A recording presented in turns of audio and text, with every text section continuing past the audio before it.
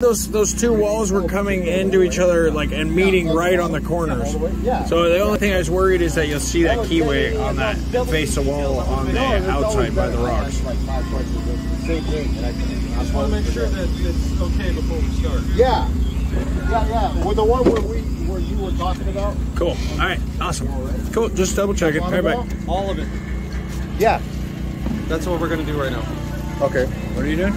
Being a gangster? I'm sure you're doing exactly what you should do. Yeah, you can run it all Thanks the way the there, coffee. and then when you're done with that, then like plumb it up, and then we'll jump on this wall.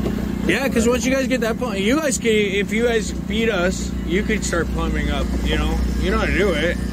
You, honestly, you could Because you trade. started it. Once you get those plumb, if you need to plumb this one up off of that one, you replace these hard I kicks. put I put uh, spacers in there for uh, anything that wasn't uh, that was under six inches. Uh, fucking tighten all the cat heads on the top. Uh, everything.